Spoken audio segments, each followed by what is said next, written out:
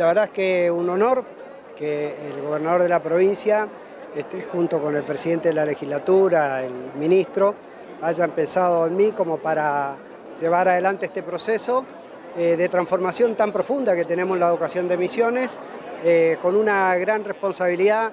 El Consejo es realmente el ámbito donde eh, los docentes se referencian con cada una de sus dificultades, con cada uno de sus sueños, de sus expectativas este, así que bueno, nosotros venimos con el afán de llevar justicia, equidad en el tratamiento de la problemática de cada uno de los docentes, acompañar a los estudiantes a mejorar la terminalidad de la secundaria, que es un gran desafío que tenemos por delante.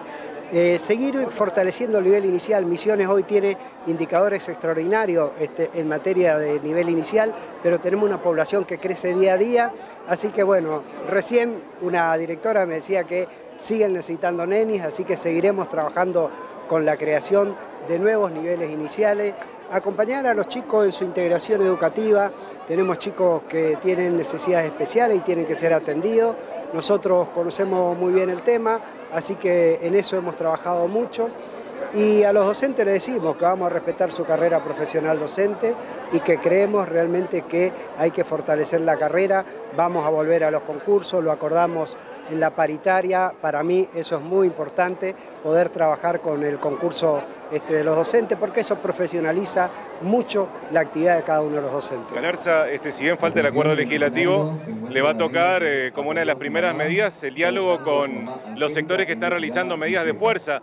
De eso usted igualmente tiene experiencia en gestiones anteriores, ¿no es cierto? Sí, yo creo que eh, lo que hizo el ministro es lo que hay que hacer convocar a los gremios, eh, hay gremios que representan a los docentes, así lo establece la Constitución, así lo establecen las leyes, pero yo soy una persona de diálogo, yo voy a hablar, dialogar con todos los sectores, este, vamos a buscar acuerdos, vamos a buscar consensos y la gente sabe, yo he trabajado mucho en construcción de consensos, es lo que me gusta, es lo que sé hacer, eh, hay que saber escuchar la problemática de cada uno, ponerse en el lugar del otro y buscar juntos las soluciones. Hay cosas que, bueno, que no se pueden resolver de un día para el otro. La situación del país es muy crítica. El gobierno de la provincia de Misiones ha hecho un esfuerzo extraordinario para resolver en enero, en febrero, en marzo, este, la problemática salarial. Así que bueno, seguiremos dialogando y sin duda este va a ser un ámbito y un espacio de diálogo abierto pero siempre con el respeto que este, caracterizó siempre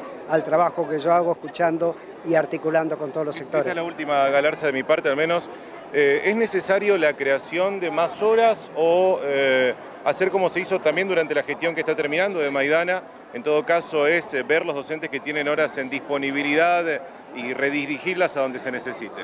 Yo creo que hay que administrar que los recursos humanos significan eh, recursos económicos, que hay que garantizar esos recursos.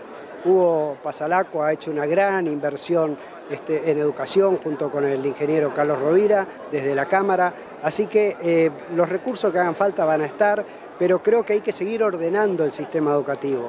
El sistema educativo tiene que, tiene que estar al servicio del estudiante, tiene que estar al servicio de los alumnos. Entonces, bueno, nuestro deseo es que cada alumno pueda tener su docente y que cada escuela tenga los docentes que necesitan. Acá hoy al gobernador le pidieron este, dos docentes. Seguramente trataremos de que sean docentes que estén libres aquí en San Pedro. Si no es así, seguramente le vamos a crear el cargo, porque lo que hay que garantizar es que el docente esté frente al alumno.